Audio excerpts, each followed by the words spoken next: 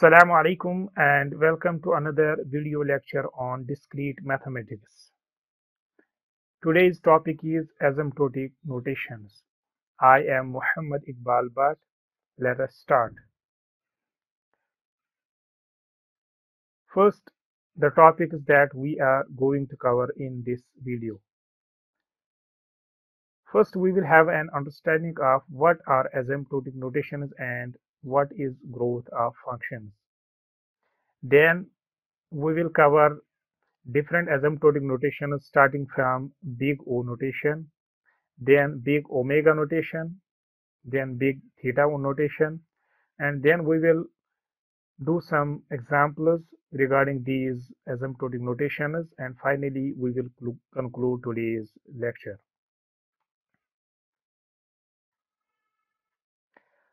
Let us start with a scenario.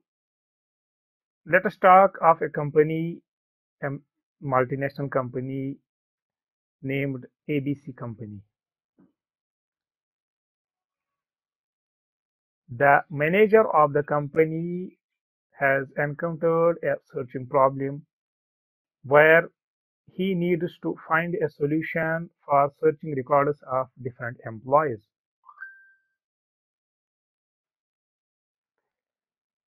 He assigns this job to two of his efficient programmers. One is Bisma and another Abdullah.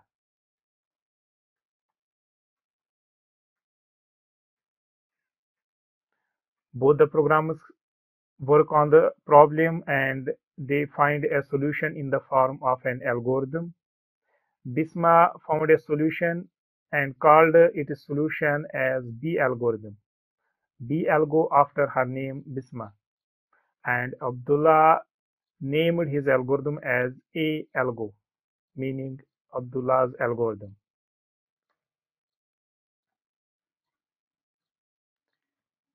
Now manager has two solutions for the same problem. One provided by Bisma B algo and another by Abdullah A algo. And he needs to find out which algorithm is best for his company. Means he needs to choose which of the two algorithms is providing him best solution. Now the question arises, here we have to check which algorithm is best. So we have to check its efficiency. And manager of the company need to know which algorithm is efficient so that he can implement it. There are two parameters to check efficiency of an algorithm.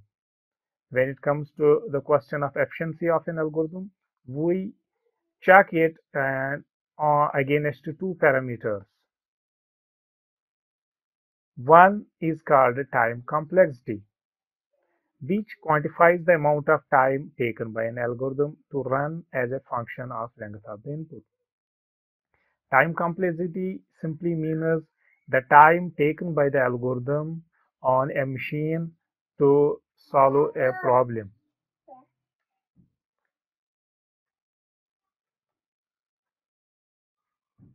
Another parameter is called space complexity which quantifies the amount of space or memory taken by an algorithm to run as a function of the length of the input. Both these parameters check whether an algorithm is efficient or not. If an algorithm takes less space and less time, it is considered efficient. And if it takes more time and more space, then it is considered an inefficient algorithm. Space means the memory occupied by the program, that is the RAM. Now, if we check time and space complexity, these two complexities depend on a number of factors. And these factors are the processor that we are using to run these programs, the available hardware, the operating system on which the program has been installed or on which the program has been executed, the programming language in which the program uh, used to write the algorithm is written. So these are different parameters on which the time and space complexity will depend. But we know that processors change very often. Hardware also changes very frequently. Operating system, we may use any kind of operating system and we may implement the program in any programming language. So efficiency of an algorithm should not be judged based on all these parameters because these parameters are uh, subject to change with the passage of time. So we do not consider these parameters. What we consider is the execution time of an algorithm. We are merely concerned about the execution time taken by the algorithm irrespective of the processor or the hardware or the operating system or the programming language in which the program has been written. So this execution time of an algorithm is measured in terms of instance size. So what is this instance size? It is the size of the representation of the input. So input means the instance size. Let us take some example. For example, if we have a sorting algorithm that sorts the numbers and we provide this algorithm with five numbers. We provide the algorithm with input as five unsorted data numbers. The algorithm runs on this data and outputs a sorted data in the form of a result 1, 2, 3, 4 and 5. Here the input size is 5 because the size of the data is 5. Now, if we provide input size of 20 to the same algorithm, it will again sort the data. But this time it will take some more time because the size of the input has increased. Similarly, if we now increase the input size to any variable n, n unsorted data is provided to this algorithm. It will again sort the data, but this time again the time taken by this algorithm will be considerably more. So each time the data is provided to this algorithm, it processes that data, but depending upon the size of the data, that is called instance size or input size, the time of the execution changes.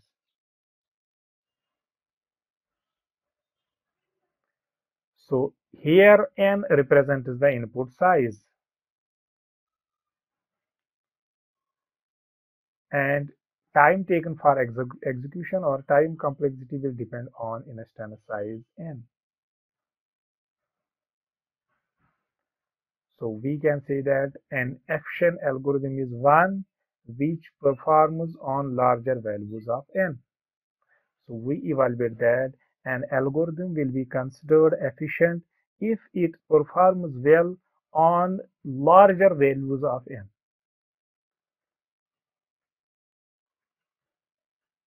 So now coming back to our company example, the manager has two solutions before him, one provided by Bisma and another by Abdullah. Both these algorithms solve his problem, but he need to find out which of the two solutions is best one. So for that, the manager asks both the programmers to come up with the algorithm complexity, the complexity of their algorithms.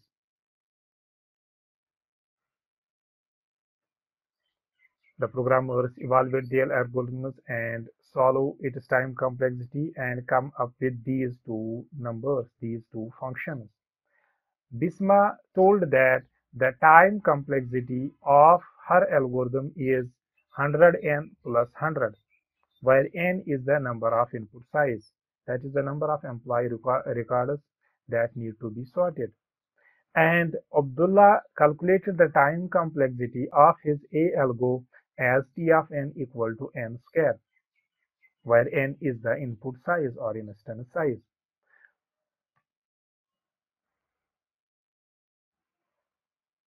So now manager again needs to check which of these two, two algorithms is efficient.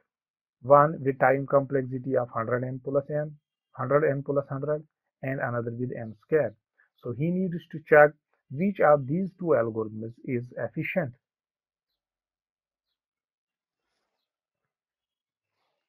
So again the problem to find best solution. Now let us discuss and analyze these two algorithms and their complexities and check which of the two is efficient. So for that we need to answer some questions. First, which algorithm algorithm is efficient? We need to check which of the two algorithms is efficient so that we can implement or the manager of the company can implement the efficient one which takes less time and less uh, space. Another question is which algorithm has lower time complexity? Which of the two algorithms takes less execution time? And third question is which algorithm best performs on larger values of n? Since this is a multinational company and the size of employees is very large, so this sorting algorithm will be tested on very large data. So we need to check which of the two algorithms performs on very larger values of n. So let us compare these two algorithms and find out which of the two algorithms is efficient one. So in order to compare these two algorithms, we are making use of an Excel sheet. On the left hand side, we have B algo and on the right hand side, we have A algo. B algo given by Bisma and A algo given by Abdullah. First, we will provide some input size, that is the number of records, employee records that need to be searched or sorted, and then the complexity, which is the number of steps taken by B algo. And on the right, right hand side, we are having the same thing. So let us evaluate B algo for some input size. Suppose we have 10 employees then what will be the complexity of this algorithm so the complexity is given by 100 into n plus 100 so we will write 100 into n n is this value plus 100 so the value comes out as 1100 means b algo is taking 1100 steps on an input size of 10 let us check the same for a algo. So time complexity is n square. So we will write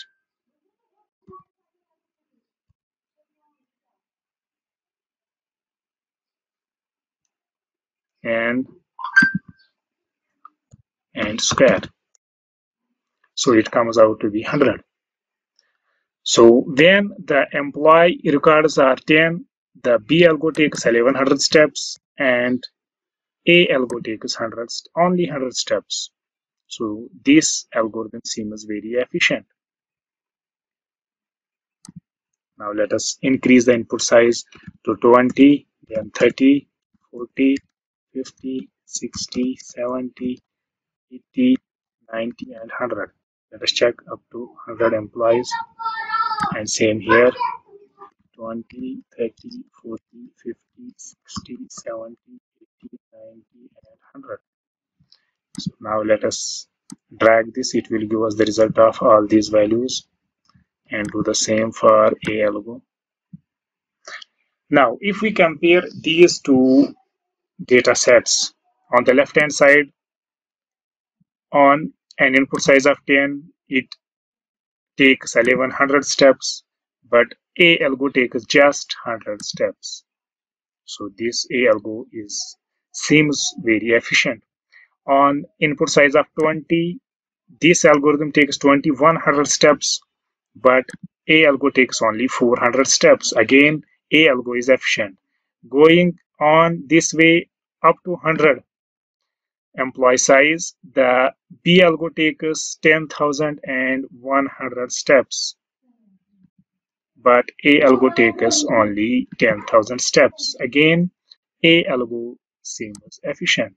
So we can say that from these results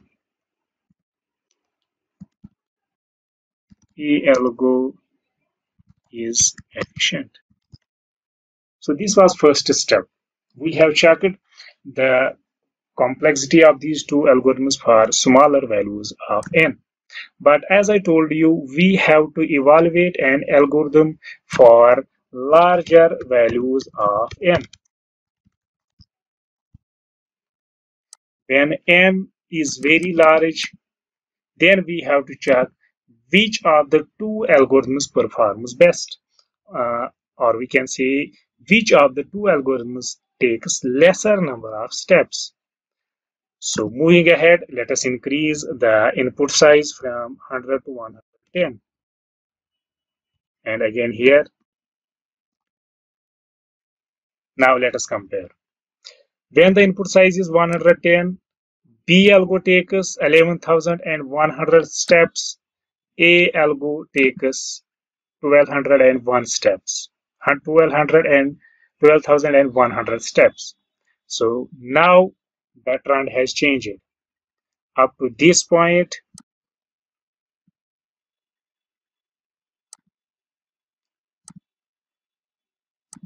up to this point, A algo was efficient.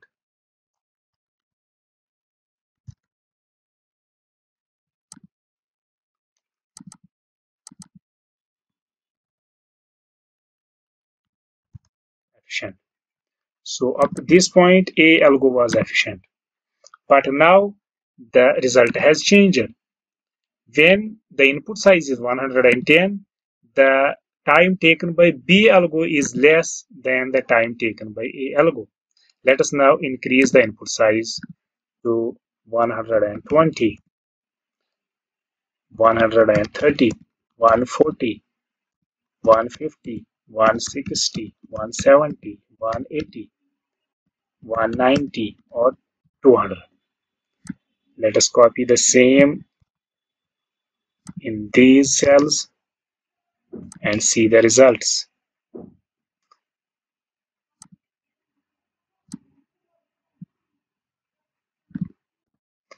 Now you can check.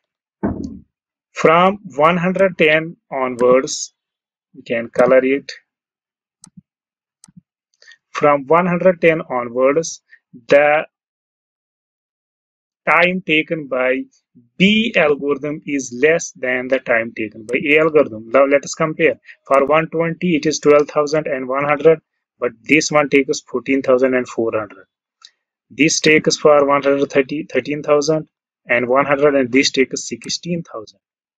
So now the trend has changed and for 200 it takes 20,000 and 100 but B A algorithm takes 40,000 which is twice the time of this algorithm.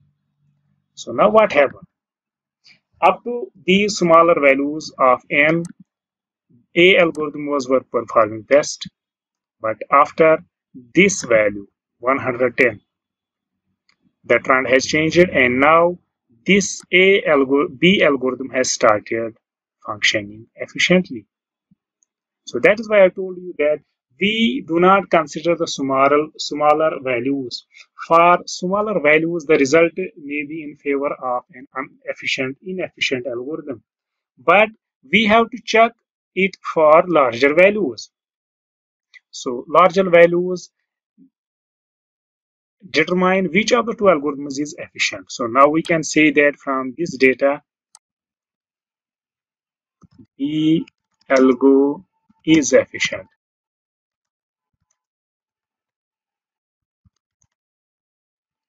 So from this data, we can say that now B algo is efficient in all these cases.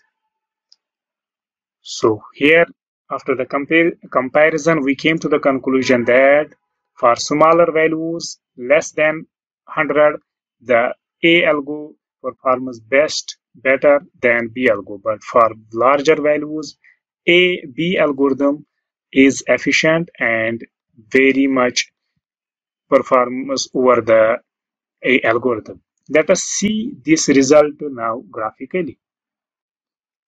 Now let us analyze the graphs of these two algorithm functions. The first algorithm given by BISMA B-algo has complexity of 100 n plus 100. So let us plot it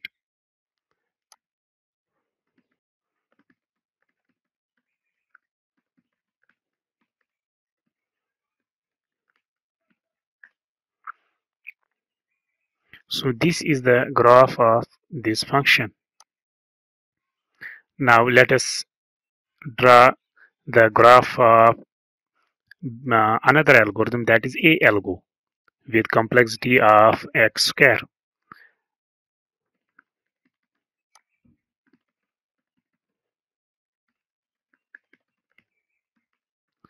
x square.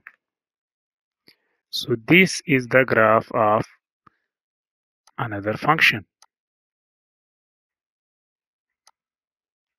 Now these are the two graphs. Now let us put some labels and coloring to these graphs.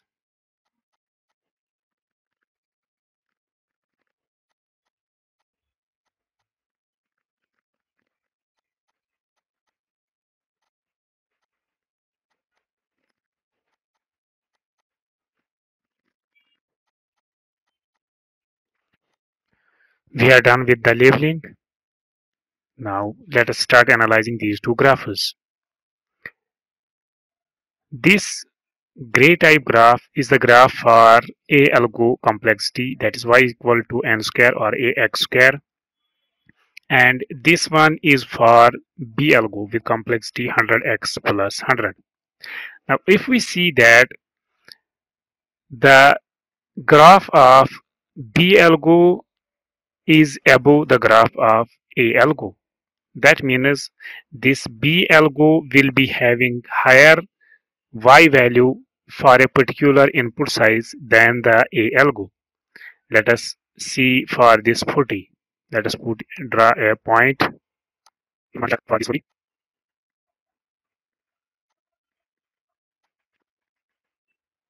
So this is the value 39.97. Let us make it 40 so this is 40 point something and it is having the y value of 1634 and let us put a point on at the same input value on the y-axis on this function. So let us make it 40 this also exactly 40 so let us see. A point represents a point on this graph which is for a algo and its value is 1634 this means for an input size of 40 it will be taking 1634 steps. And for uh, for the same input size of 40 the point b represents steps taken by this algorithm that is b algo those are 4100 steps. So definitely for an input size the graph which is this b algo graph takes more steps than the steps taken by this algorithm. And this is the same result as we got in uh, the spreadsheet. But we know that this is not going to happen forever. There will be some point where this B algo will have lower complexity than the A algo or we can say that beyond that point the complexity of B algo will be less than A algo. And that point is called break-even point. So let us see that break-even point. Moving graph further down. And here we find a point where the two graphs meet. So this means the complexity at this point for both the graphs will be equal. So let us see this point. What is this point?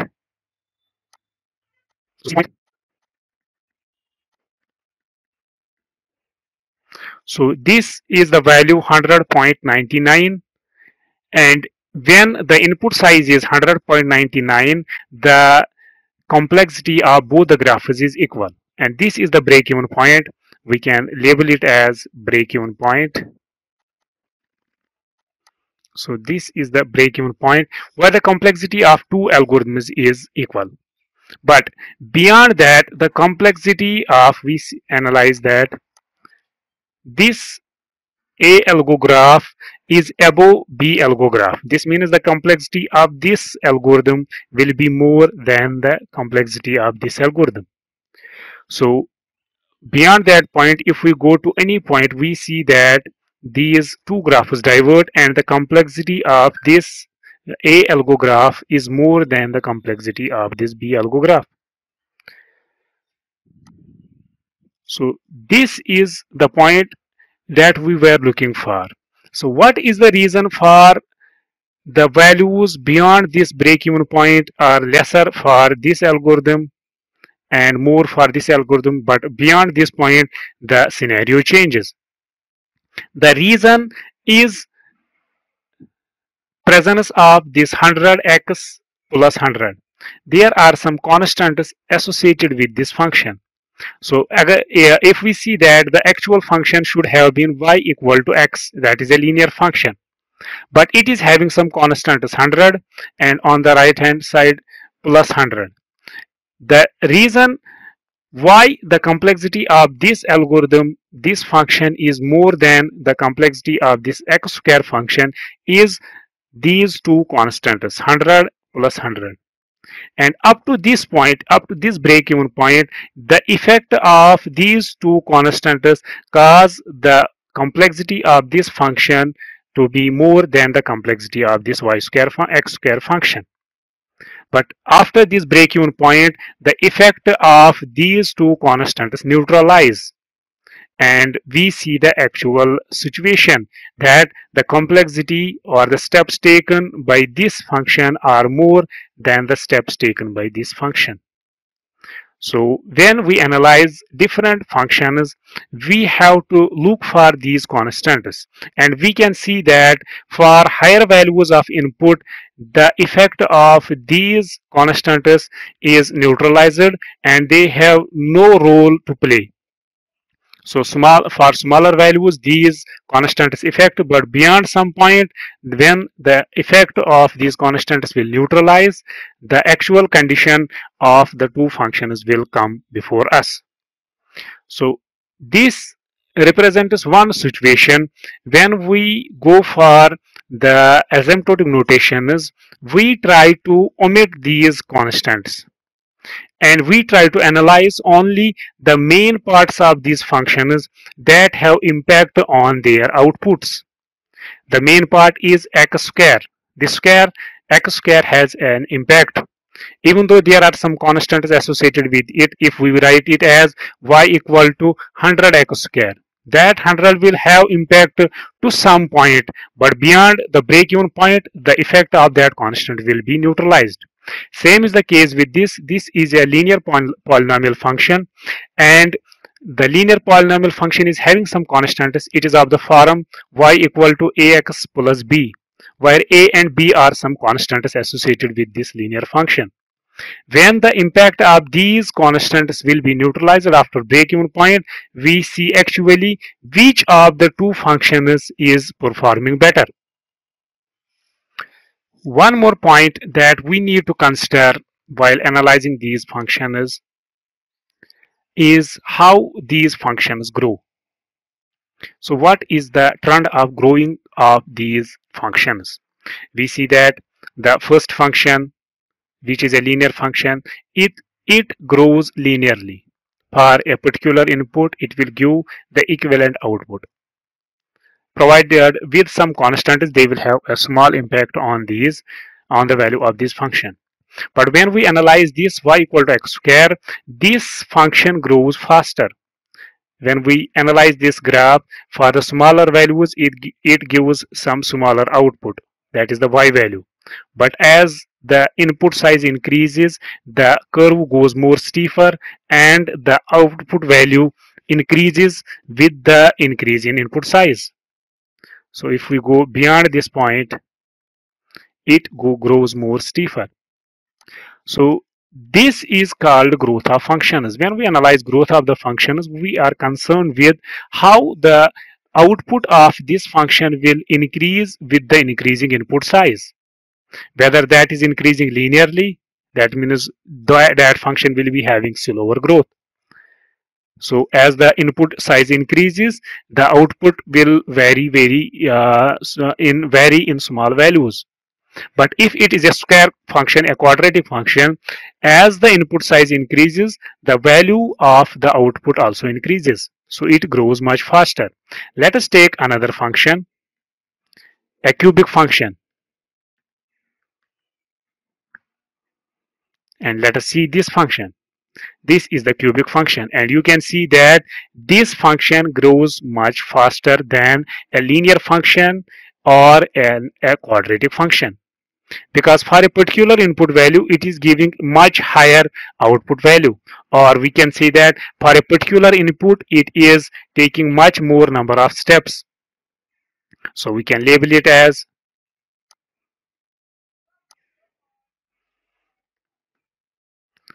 y equal to x cube. So this is a cubic function. Similarly if we have a function of power 4 y equal to x raised power 4 so this function this green one this is y equal to x raised power 4 so this grows even much faster than a cubic function. So it will have much more complexity than the uh, function a cubic function. So we can label it this is x equal to y raised power 4 Similarly, if we have a polynomial of higher order, that will have much more complexity than these functions. So what is desirable is when we are searching for, for an algorithm, we want an algorithm for which the growth is slower. Means given a particular input, the output of that function should not grow very rapidly. So that is the case with this linear function. So if we have a linear uh, complexity a function with linear complexity that is desirable than an algorithm with complexity of square or a quadratic uh, uh, equation. And if we have two algorithms with a complexity of quadratic or cubic function then we will go for this quadratic function because it is having slower growth than a cubic function which grows much faster for uh, increase in input size Similarly, there are some other functions, uh, for example, y equal to 2 raised power n. This grows even much faster. So if we go to some extreme points, we see that it grows very fast. So this is called growth of the functions. So in algorithms, when we analyze the growth of the functions, we are concerned with how the growth of the function happens with the increase in input size. An algorithm with lower growth is preferable than an algorithm with higher growth. And we can write them here. Similarly, we can write another function that is y equal to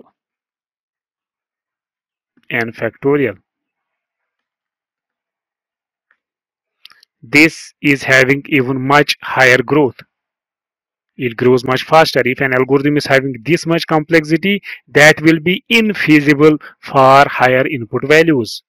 So this means no algorithm or no computer in the world will be able to uh, execute that program for higher values of n if the value of n is in millions. So it will take billions of years to execute that program or code Similarly, there are some functions that are desirable even uh, better than this linear function. For example, a logarithmic function.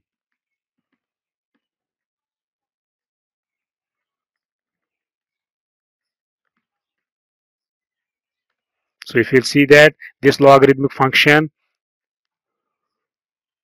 is having grows very slowly if we see it if we see it it gets merged with the input size. Its growth is very slow and an algorithm with logarithmic growth is desirable than an algorithm with linear growth. And an algorithm with linear growth or complexity is desirable than an algorithm with square or quadratic complexity. And an algorithm with cubic complexity is desirable than an algorithm with a power of 4 and so on. So we can write these uh, as so if we have a function with log of x it will have lesser complexity than a function with complexity of n which will have lesser complexity than a function with quadratic complexity which will have lesser com complexity than a function with power of 3 cubic similarly that will be desirable than a function with power of 2 raised power n and that will be desirable than a function with power of n factorial or n raised power n. So these are called growth of functions and now hope you understand what is the growth of functions and what is the meaning of this growth of functions. Again I am repeating when we analyze the complexity functions of different algorithms we must. So we want to check uh, the complexity of these algorithms for higher values of an input and an, a function that grows slower for higher inputs is desirable than a function that grows much faster. So this function grows very slow because for a particular input the output will be very less and for 35 it will be having maximum of 1000 or uh, 1100 complexity. But if we analyze the complexity for 35 for these these functions they will be giving value in thousands.